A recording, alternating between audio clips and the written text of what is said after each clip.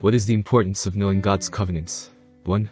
Knowledge of God's covenants and the promises connected to his covenants give us great confidence in our prayers. Having a deep understanding of God's covenants provides a solid foundation for virtually every aspect of our walk with God. There are nine biblical covenants initiated by God and directed toward mankind, and each offer rich insight into the promises God has made to us. Knowledge of God's covenants provide us with a basis to receive his blessings and to walk by faith. Understanding God's covenants help us realize how much God loves us, how committed he is to our well-being, and how faithful he will be to us as his covenant partners. There are many benefits to having a deep knowledge of God's covenant promises. A sound understanding of God's covenants and the associated promises greatly enhance our authority in prayer. The following example will help us understand why. We all have heard a person pray for someone who had a serious illness. Many pray something like this, Lord, if it be thy will, heal them. As they pray, they express absolutely no confidence that God will actually heal. Normally little confidence leads to little answers. Although there are times at which we do not know God's will, there are many times when we would know His will if we understood God's covenants and the associated promises. We know that it is God's will to heal, and that divine healing and health are promises made to God's people through covenant. Understanding what he has promised us, and how he has promised us these things through covenant adds great boldness, confidence, and certainty to our prayers. Can I have your attention for a few seconds? Before we delve deep into this video, please help us spread the gospel of our Lord Jesus Christ by supporting our Patreon page at www.patreon.com slash you will instantly gain access to over 180 Christian videos, and over 400 videos about billionaire biographies, and over 140 personal development videos, and over 450 verse and quotes images among other goodies. If you are watching this video and you have never received Jesus Christ as your Lord and personal Savior, I'll help you do that right now because it is for this very purpose that we create these videos. Giving your life to the Lord is the best decision you can ever make in your entire life on earth. I invite you to make Jesus your Lord today. In Romans 10 verse 9 the Bible says that, if thou confess with thy mouth that Jesus is Lord, and believe in thine heart that God raised him from the dead, thou shalt be saved.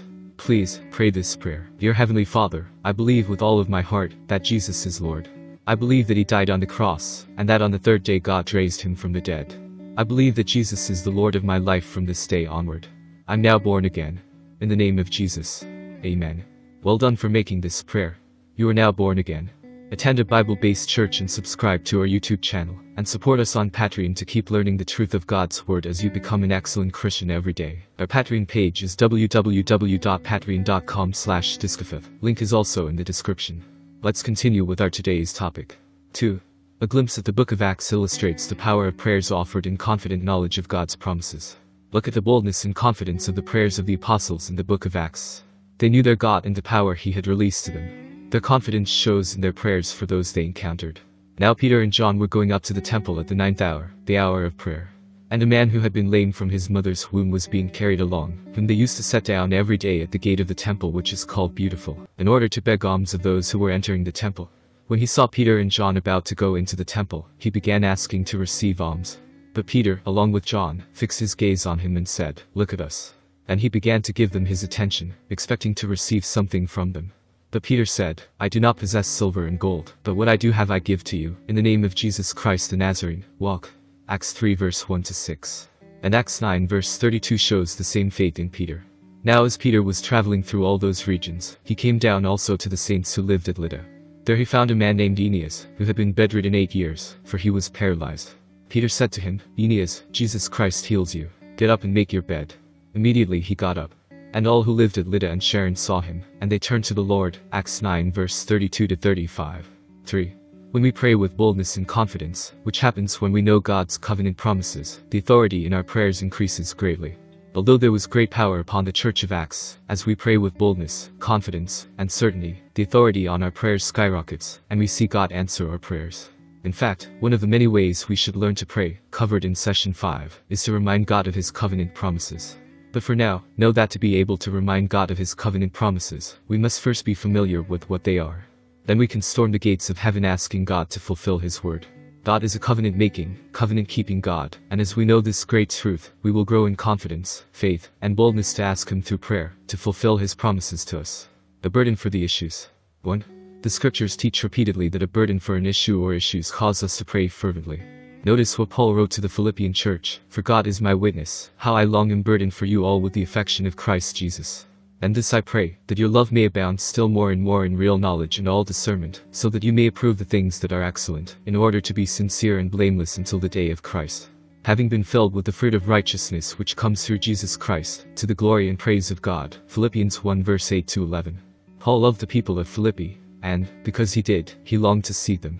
The longings of his heart for his dear friends motivated his prayers for them and Jesus' words at Gethsemane. Then Jesus came with them to a place called Gethsemane, and said to his disciples, Sit here while I go over there and pray.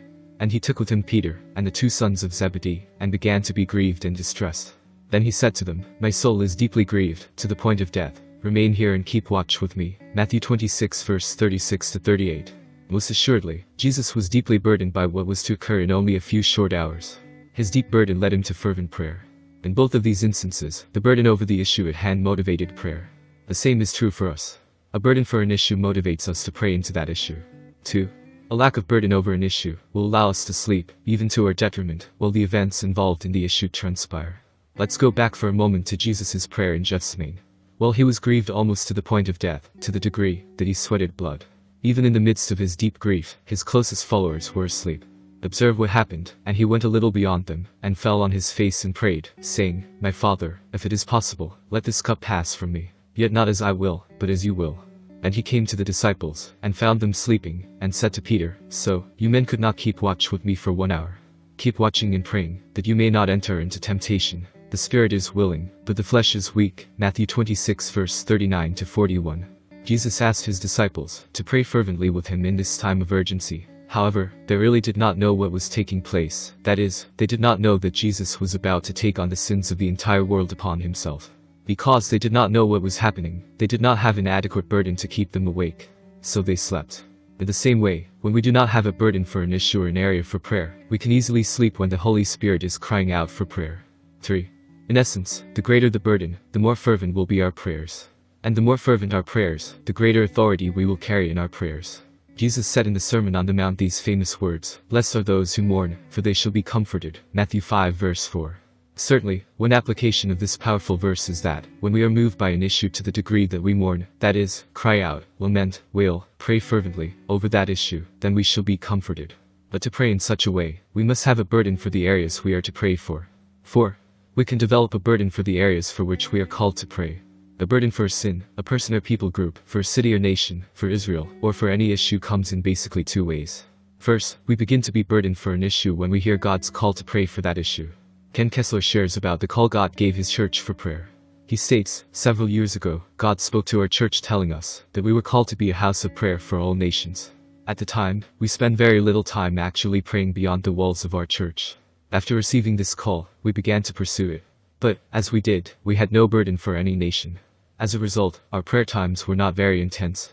Then, a few years later, the Lord spoke to us that He was calling us as watchmen for America, and then later as watchmen for Israel. When we knew what our call in prayer was, we began to develop a burden for those areas.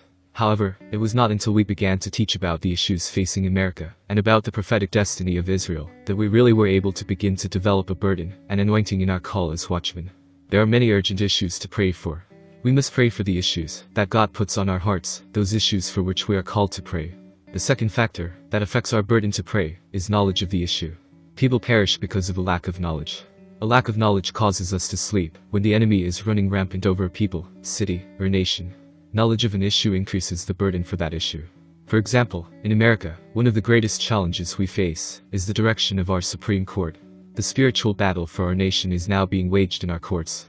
But, until we have knowledge of how the court works, how justices are appointed, how they determine issues that affect our life and religious freedoms, and of the issues themselves, we have no burden to pray. Knowledge in these areas leads to a burden for them. And a burden leads to fervent prayer.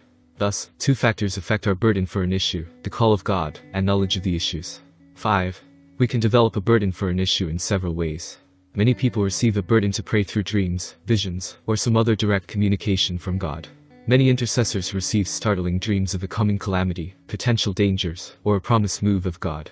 Receiving information in such a way leads to a burden to pray fervently into those areas.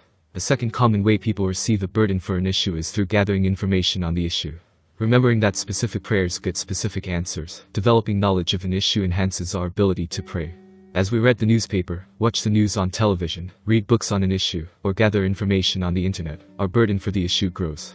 As our burden for prayer increases, our authority in prayer grows. There are many ways that our burden for prayer can grow. The primary truth for now is to realize that it is important to do whatever is necessary to develop a burden for the issues for which we are called to pray. Can you please do us a favor?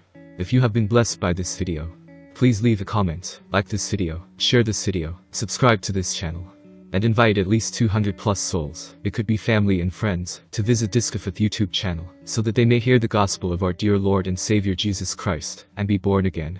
Don't forget to subscribe to our YouTube channel and support us on Patreon. Our Patreon page is www.patreon.com slash Link is also in the description.